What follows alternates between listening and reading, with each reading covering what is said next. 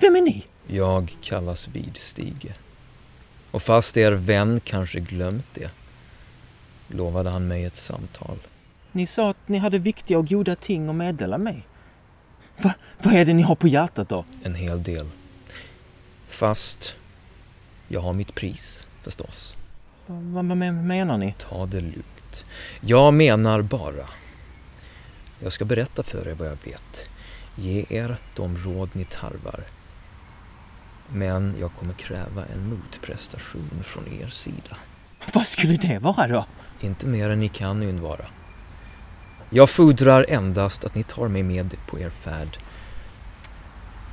och låter mig följa med er så länge jag själv önskar. Så, det är det ni vill? Ni ska emellertid veta att om jag också gott kunde önska mig en kompanjon skulle jag aldrig gå med på en sån begäran innan jag både visste en hel del om er om era avsikter. Utmärkt. Ni tycks ta ert förnuft till fånga och det är alltid en god början. Hittills har ni allesammans varit alltför oförsiktiga. Men börja. Vad är det ni vet? Rent för mycket. För många mörka historier. Men vad angår just era affärer? Jag har skarpa ögon. Och fastän jag inte som ni kan göra mig osynlig har jag drivit jakt på många vilda och vaksamma varelser och kan konsten att vanligen göra mig osedd om jag så önskar. Jag råkade befinna mig bakom häcken ikväll på vägen strax väster om Bry när eh, fyra Huber kom ridande nerför Kummelbergsområdet. Jag behöver inte upprepa allt de sa till gamle Bombadil och till varandra men eh, en sak intresserade mig. Var vänliga kom ihåg, yttrade en av dem, att namnet Bagger inte får nämnas. Jag är här Nedomkull, om det blir nödvändigt att uppge något namn.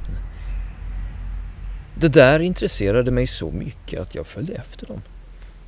Kanske har herr Bagger ett hederligt skäl varför han inte vill använda sitt eget namn, men i så fall skulle jag råda honom och hans vänner att vara betydligt försiktigare. Jag kan inte inse att mitt namn skulle intressera någon i Bri. Och jag har fortfarande inte fått veta varför det intresserar just er. Herr Widstig har kanske också ett, ett hederligt skäl för sitt spionage och sitt dörrlyssnande. Men om så vore fallet skulle jag råda honom att redogöra för det. Väl turnerat. Min förklaring är enkel nog. Jag har länge försökt få tag i en hub vid namn Frodo Bagger. Jag önskade hitta honom illa kvickt. Det har sagts mig att han tagit med sig en, eh, låt oss kalla det, hemlighet ifrån Fylke. Som angår både mig själv och mina vänner. Jag ska nog vara mer aktsam om hemligheten än ni. Och kom ihåg, aktsamhet är av yttersta nöd.